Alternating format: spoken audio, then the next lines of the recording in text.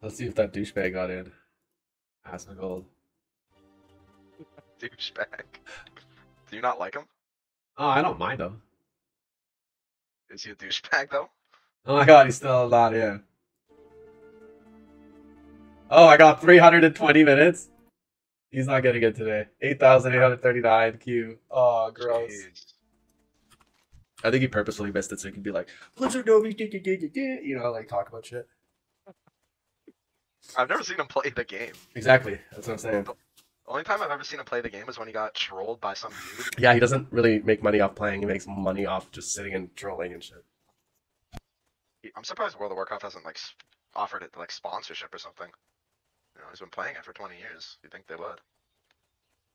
Yeah, I don't know if they want like doing that shit. I have a conspiracy theory. Oh. Battle.net doesn't want to continue this game, but they now they have to continue this game because of that guy, so they don't like that guy secretly. Yeah, yeah, that's why they don't let him in. Uh-huh. Because me and nobody fucking got in. I was like, did you see that? There was only like hundred people there, and then within like five seconds after, it was like everyone's logging in. Like I was one of the first freaking hundred in that area. And I was like, oh, there's not that many people, and then it just got laggy all of a sudden. Uh-huh. But yeah, his queue is like nine thousand. Three That's well, what is it? Three hundred twenty minutes? That's like six hours, isn't it? something like that. He's not getting in probably for a week. People are probably just gonna like stay in the server and like AFK. Yeah, yeah.